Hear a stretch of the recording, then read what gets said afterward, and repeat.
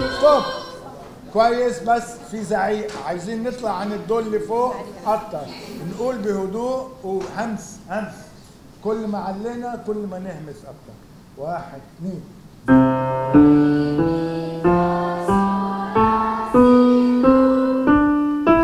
نوصل للمي طيب دو ري مي واحد اثنين دو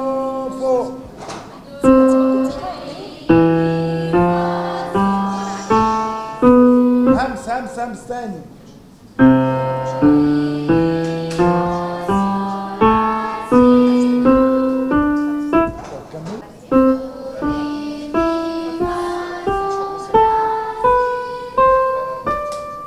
نقدر نطلع كمان؟ نقدر نطلع كمان قولوا كمان مرة. واحد اثنين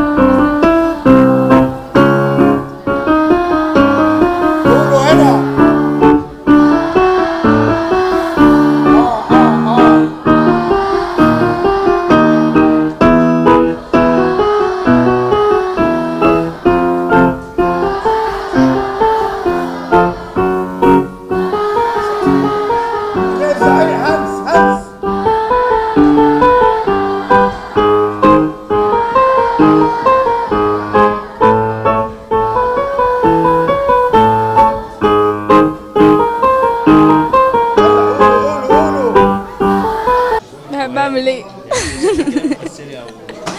آه بحب التمثيل والأغاني برضه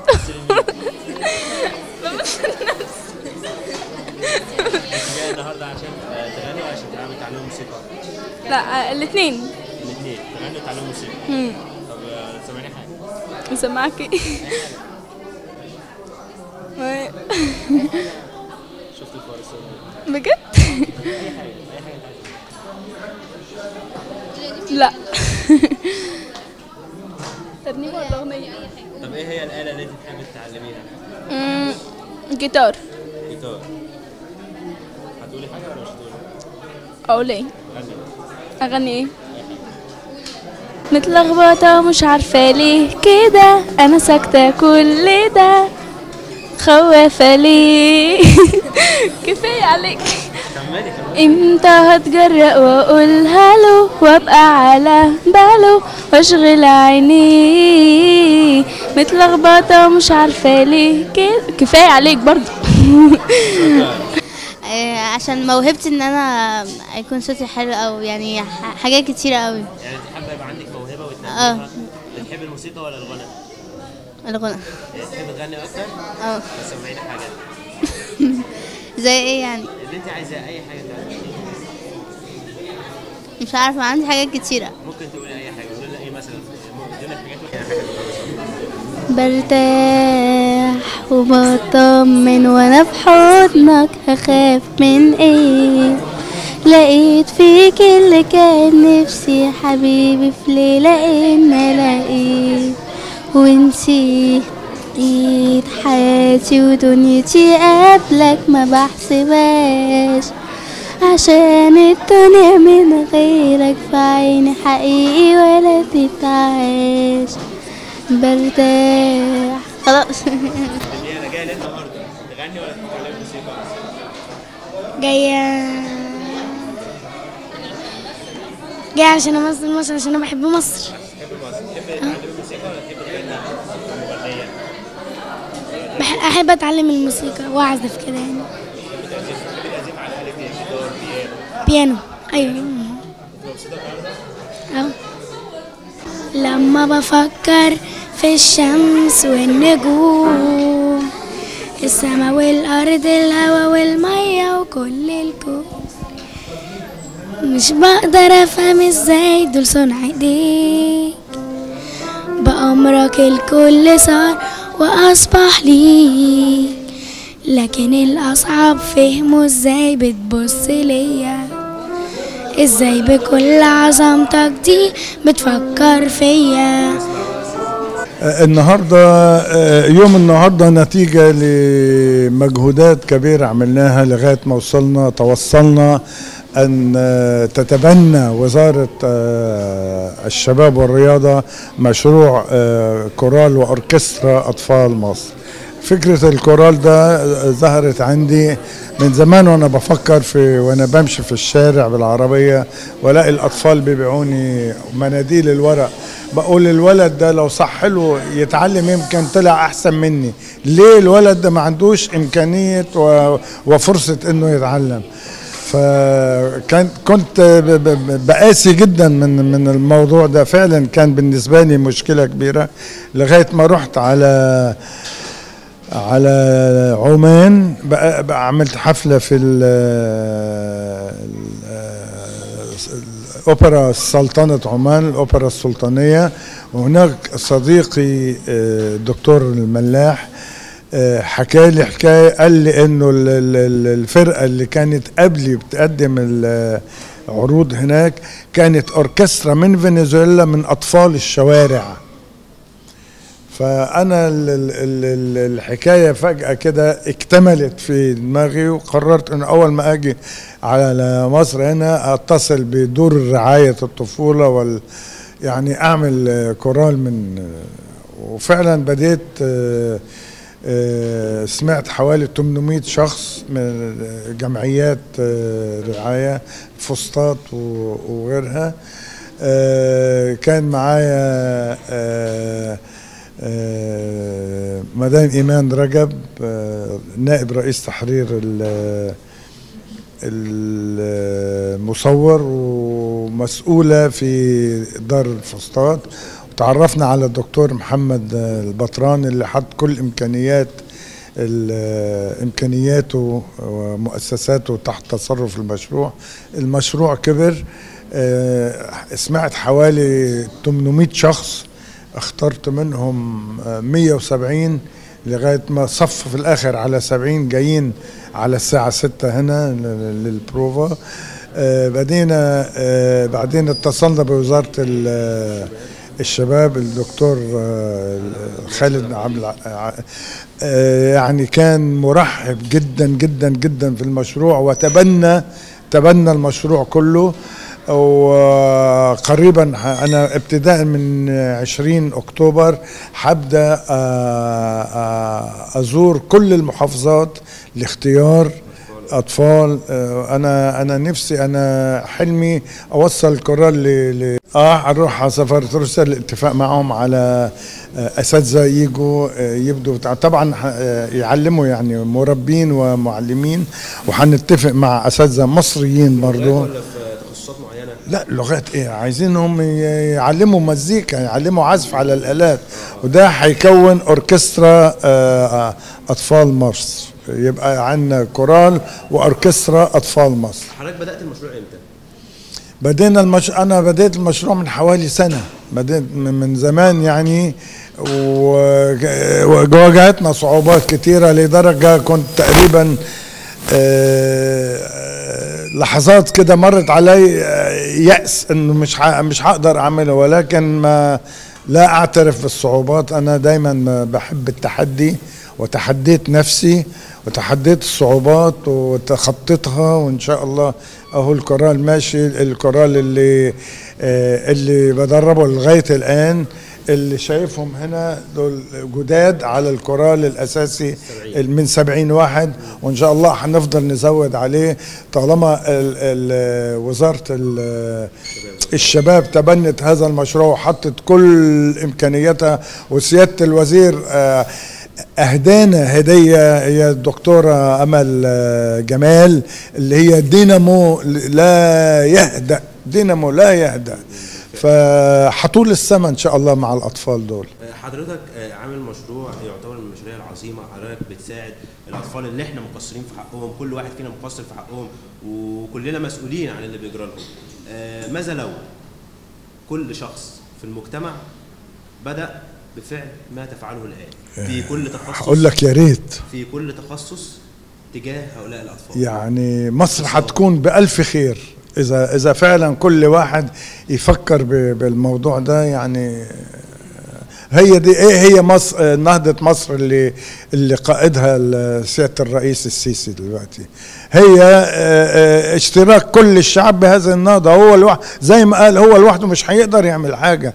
إذا إحنا كلنا كل واحد من مكانه ما ساعدش ما ساهمش في في هذه النهضة في هذه ال ال ال ال ال النهضة دي نهضة مصر الحديثة مش هيقدر هو يعمل حاجة. شهادة من حضرتك لتشجيع آخرين في تخصصات ومجالات أخرى لتشجيعهم على إقامة مشروعات مثل هذا المشروع في مجالات أخرى مع هؤلاء الأطفال لتحسين مستواهم وأيضا الشهادة واحدة إن هؤلاء. الأطفال استيعابهم جيد ويستطيعوا حقيقة آه لا طبعا. أن- كلمة واحدة أقول لهم. كلمة واحدة أقول لهم. حبوا مصر. رسالة للمهندس خالد عبد العزيز وزير الشباب. شكرا جزيلا وربنا يقويك وي... علشان تقدر آه، آه، تدي مصر أكتر وأكتر. عرفنا نفسك أنا نبيل آه، شريف أباظة ابني من أبناء آه، جمعية أولادي وأفتخر بذلك. وأفتخر إن أنا ابني من ولاد آه، أولادي. وعندي 16 سنة. وبس يعني. حضرتك مشارك في المبادرة اللي عملها المايسترو سليم سحاب. مشارك معاهم في ال- آه آه مشارك من فترة بقالنا شهرين كده هم مشاركين. وحاجة كويسة لينا اللي إحنا الحمد لله مشاركين مع مايسترو كبير زي كده. جايين النهارده عشان تعملوا إيه؟ يعني بعد ما أنتوا اتدربتوا خلاص وخدتوا التدريبات اللازمة جايين النهارده ليه؟ إحنا جايين النهارده والله أنا بس أنا مش عارف بس هي أكيد فوق التدريبات يعني أو أكيد يعني عشان بنصور مثلا مع كذا تلفزيون غير حضرتك مثلا. فحاجات كتير كده بس محدش مدينا فكرة عن عن الأمور إيه من المبادره اللي عملها بس المايسترو مسلم سحاب أكيد طبعا استفدنا حاجات كبيرة منها اللي إحنا حسينا اللي إحنا آه، يعني مشاهير وزي كده. يعني لما حد بيجي مثلا علينا زي حضرتك مثلا يجي يقول لنا إحنا عايز أصور معاكم كده بنحس بفخر كبير إن حد بيصور معانا بنحس ان إحنا خلاص يعني عدينا مثلا زي ما بيقولوا. بس يعني بنحس ان إحنا اتشهرنا بقى وكده ومغنيين كبار وكده. شكرا. حضرتك نجلاء علي من جمعية أولادي. آه، انت مشاركه في المبادرة اللي عملها المايسترو مسلم سحاب مم، المبادرة عملها قد إيه شهرين. كلميني عملتوا إيه في المبادرة؟ عملتوا إيه خلال الشهرين دول؟ آم، بداية من أول حاجة يعني ابتدى اختياركم وبعد كده إيه اللي حصل؟ الأول بدأنا ن- نحفظ الأغاني بالورق وكده وأول ما حفظناها جينا يعني الأيام الباقية عشان المدارس كانت دخلت وكده فخدنا يومين. آه، إيه جمعة وتلات. فبقينا بقى نيجي ونتدرب أكتر ون- وحفظنا عشر أغاني لغاية دلوقتي. وغنيتوهم في أكتر من مكان؟ عملتوا بروفات كتير؟ لا مش في أكتر من مكان. كان إيه رأي المايسترو في الأداء بتاعه لا حلو. إيه إيه حسيتوا بإيه خلال المشاركات ديت؟ هل مثلا كنتوا مبسوطين؟ آه أنا كنت مبسوطة جدا. ليه؟ مش عارفة حققت اللي أنا عايزاه. من ناحية الغنى أنت بتحب الغنى؟ امم صوتك كويس؟ عرفينا بنفسك؟ اسمي شيرين. آه، في جمعية أولادي. انت مشاركة معاهم برضو من شهرين. امم آه، حسيتي بإيه خلال التدريبات اللي أنتوا دربتوها حاسة بإيه يعني كنت مبسوطة؟ آه مبسوطة. حسيتي إن انت اتقدمتي عملتي حاجة خلال الفترة دي؟ آه. آه، دكتورة أمل جمال وكيل وزارة رئيس الإدارة المركزية للبرامج الثقافية والتطوعية. آه، طبعا المبادرة الجميلة اللي أطلقها المايسترو سليم سحاب آه، آه، كورال آه، وأوركسترا أطفال مصر. آه، دي آه، بت- آه، بتواجه طبعا وتقابل آه، استحسان كبير جدا من وزارة الشباب والرياضة آه، برئاسة المهندس خالد عبد العزيز. الفكرة رائعة. آه، الوزارة تبنت الفكرة. ونسقنا مع وزارة التضامن آه، على أساس إن إحنا إن شاء الله هنجوب المحافظات نوصل. آه، الكورال ده والأوركسترا يوصل ل 5000 طفل من 27 محافظة آه، نسقنا مع وزارة التعاون مع وزارة التضامن على أساس إن إحنا نستعين بمراكز إيواء الأطفال بلا مأوى وجمعيات المعنية بالأيتام.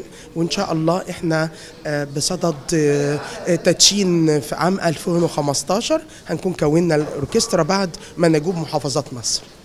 آه، فكرة المايسترو كانت رائعة و- ولقت استحسان لدى وزارة الشباب والرياضة. زي ما قلت لحضرتك لو كل واحد في مجاله لو كل فنان مسرح قدر إن هو فكرة حتى الأكاديمية اللي عملها الفنان الجميل الاستاذ محمد صبحي عمل أكاديمية سنبل. أكاديمية سنبل دي لو قدر مش بس قائمه على الموهوبين لو قدر برضو يضم فيها آه، مجموعة من أطفال بلا مأوى أو الأيتام يبقى شيء جميل. آه، الأطفال مش ضروري إن أنا بس في الكورال أبقى بغني كويس لكن أنا عندي مواهب في التمثيل عندي مواهب في الرسم. كل واحد كل شخص آه، من المثقفين والفنانين يستطيع أن يعمل أكاديمية أو يعمل نموذج زي نموذج المايسترو سليم سحاب في مجال الرياضة في ريادة الأعمال كل واحد لو تبنى فكرة إن إزاي إحنا أطفال ال- أطفال المجتمع دول يبقى هم دول الرعاية لأن أن- إحنا كوزارة شباب ورياضة بنعتبر إن قضية أطفال الشوارع أو أو الأيتام دي آه، قضية أمن أمن قومي فعلا والاهتمام بيها آه، لأن دي زي ما بنقول كده إن قنبلة موقوتة. فلازم الاهتمام بيها ورعايتهم. وإحنا اكتشفنا مواهب في الولاد ما حدش كان ممكن يكتشفها لولا فكرة المايسترو آه، سليم سحاب. أنا اسمي أستاذ صمويل إسحاق كنيسة أبو سفين للمهندسين آه، مطرانيه الجيزة. كلمنا عن اليوم النهارده وكيف دعيتم إليه؟ إحنا دعينا من ال- من المطرانيه عن طريق وزارة الشباب طبعا وجايين نشوف إيه الوضع. يعني البنات عندنا برضه عندهم امتحانات وعندهم مذاكرة يعني كنا نتمنى الموضوع يبقى في الصيف يبقى البنات عندهم وقت فراغ أكتر لأن أنت عارف المذاكرة والاهتمام بالمذاكرة و... ووقتهم كله بيبقى يا دوبك بين المدرسة وبين المذاكرة وبين النوم شوية يعني كده. طب إيه رأي حضرتك في المبادرة نفسها؟ هي المبادرة في حد ذاتها حاجة كويسة جدا لأن إحنا هنا آه، شعب واحد فالجمع ده كله يعني الواحد مبسوط جدا منه. اهتمام آه، واحد زي الماسترو سليم سحاب آه، بالموضوع شيء جميل جدا إن يسيب كل مشاغله وكل إن هو يبتدي يعمل حاجة زي كده ويجمع فيها أطفال مصر كلها سواء مسيحيين سواء مسلمين وده دي مصر. تحب توجه كلمه لوزير الشباب؟ يا رب الموضوع ينجح ويتعمم وتبقى مشروع قومي ويبقى الدنيا يعني ونشوف مصر كده أحسن كتير كتير كتير. هو إحنا إحنا برضو هو هو الموضوع برضو موضوع الأطفال غير مأوى دي بتجرح الولاد شوية. يعني المفروض دور الرعاية. آه دور الرعاية. إحنا من آه، عندنا رعاية على أعلى مستوى ليهم. ما بيحسوش خالص بالكلام اللي يعني بالنقطة ديت. وأديك شفت الولاد حتى نفسيا و اتفضل آه. مصطلح أطفال دور الرعاية. آه دور الرعاية. يعني أو إحنا بنقول أطفالنا يعني إحنا عندنا في في الكنيسة بنقول بنات أبو سفين. بنات الكنيسة. إحنا آه. بس. يعني بنحب نذكر ده عشان بس المشاهد يعرف هو يا ريت كل واحد يشتغل في عمله كده بالشكل دوت. الدنيا هتبقى حلوة جدا جدا جدا. آه طبعا إحنا في مصر هنا متعودين على كده. إحنا عندنا في الكنيسة في دور مهم جدا. بنعلم الولاد الوطنية وبنحببهم في البلد جدا. يمكن آه مقولة البابا شنودة. الناس كلها حافظاها. مصر وطن ما بنعيش فيه. لا ده وطن بيعيش جوانا وده فعلا بنعمل كده مع الولاد والولاد بيحسوا كده كويس جدا. من خلالنا إحنا من خلالنا إحنا بنعلمهم بنعلمهم كده وبنقول لهم دايما مصر وبنحببهم في بلدهم. حتى الولاد عندنا بيبقى فيهم كده الدور دوت كان للأسف كان في المدارس الأول. النهارده المدارس ما فيهاش الدور ده. فاحنا بنعممه في الكنيسة بشكل عام. يعني الولاد بنعلمهم كده نقول لهم مصر. عشان كده إحنا موجودين هنا النهارده. آه، مدام نادية. مدام نادية. آه، جمعية ابنتي. آه، دار لرعاية الفتيات. ما عندنا 85 بنت في الجمعية. كلمينا عن مشاركتكم النهارده. وايه رأيكم في الفاعلية اللي عملها المايسترو؟ إحنا مشاركين معاه من حوالي خمس شهور من أول ما بدأ خالص. كنا إحنا من البداية. أنا عندي 15 بنت كانوا بال- بالفعل هم كانوا مشاركين في كورال الأوبرا. وكانوا متدربين وبيشتغلوا. فلما جه شافهم في الجمعية هو اختارهم وخدهم معاه. وبدأوا معاه الحمد لله. هم شغالين معاه من ساعتها من خمس شهور. ومنتظمين معاه. كنا في مركز الفسطاط في العمرانية. والنهاردة أول يوم يجوا التدريب هنا. تحب تقولي إيه آه، للمايسترو وللمهندس خالد عبد العزيز؟ آه، هما الاثنين اجتمعوا علشان يحققوا الأمنية أو الحلم دوت لأطفالنا. طبعا إحنا في أول ما بدأنا كان بالنسبة لنا الموضوع كله حلم. إحنا بنحلم إن البنات دول يكملوا ويعملوا المشروع ده مع الماستر طبعا هو هي فكرة عظيمة منه. وهو جمع طبعا عدد كبير من بنات الجمعيات ويعني شارك بيهم وبدأ بيهم. بس كان في نقطة واقعة إن إحنا مش عارفين الموضوع هيكمل إزاي ومش عارفين التمويل هيبقى إزاي. وزارة الشباب. كمل بوزارة الشباب. الحقيقة إحنا كنا في اجتماع إحنا كنا مذهولين الأسبوع اللي فات وإحنا سامعين آه، الدكتورة أمل جمال وهي المسؤولة دلوقتي اللي هي بتتابع الموضوع آه، بعد تكليف من الدكتور خالد عبد العزيز. فهو بعد ما كلفها الحقيقة هي ذللت كل العقبات وقالت إن هم هيجيبوهم يتدربوا هنا وهيقوموا بتوزيع وجبات و... وكمان هيتحملوا الباصات اللي هتيجي للجمعية تاخد البنات تنقلهم لهنا وترجعهم. فطبعا والمعسكرات اللي هتتعمل بعد كده وإن شاء الله هيبقى أول معسكر آه، في أجازة الصيف آه، لا في أجازة نص السنة الأول. بعد كده هيبقى فيه في الأجازات بعد كده بتاعت الصيف. هكلمك من منطلق إن أنت بتعملي تعامل مباشر مع الأطفال آه، أطفالنا اللي هم بيعيشوا في دار الايواء ماذا لو كل متميز في مجالي تقدم لمبادرة مثل هذه المبادرات؟ ماذا يحدث آه، أو ماذا سيكون شكل هؤلاء الأطفال آه، من وجهه مش؟ شكل هؤلاء الأطفال ده هيبقى شكل مصر كلها لأن إحنا عندنا مواهب كتير في الأماكن دي لكن للأسف هو محدش بيكتشفها وإحنا بنطالب كل متميز في مجاله إن إحنا عندنا بنات وولاد في منهم اللي ممكن يطلع عالم وفي منهم اللي يطلع متميز في الموسيقى وفي اللي متميز في الغناء وفي اللي متميز في الرسم. أنا شخصيا عندي في الدار بنات متميزة في الرسم جدا بنات متميزة في الأشغال اليدوية وشغل الإبرة وحاجات كتير جدا بيعملوها. الحفر على الخشب والرسم على الإزاز. أتمنى إن يوم حد يتبنى المواهب دي كلها ويخرجها للنور. وساعتها مش إحنا بس اللي هنستفيد أو البنت بس اللي هتستفيد ده مصر كلها تستفيد. أنت بدل ما يبقى عندك طفل طالع حاقد على المجتمع وحاقد على ظروفه أنت بتطلعه هو بيعيش في مستوى كويس وبيتعلم حاجة كويسة وبيكون إنسان سوي ما بيحقدش على المجتمع. وبيشوف إن المجتمع بيقدم له حاجة كويسة تفيده وتفيد آه، عيلته. بعد كده لما يبقى في يوم من الأيام إنسان سوي وليه عيلة وليه شخص زوجة وأولاد أو ليها زوج وأولاد فأكيد ده هيفرق معاها كتير. مش هتبقى حاسة إن المجتمع رافضها إن المجتمع بي بيضايقها بظروفها لأ هي هتبقى حد مننا وهتبقى في وسطينا.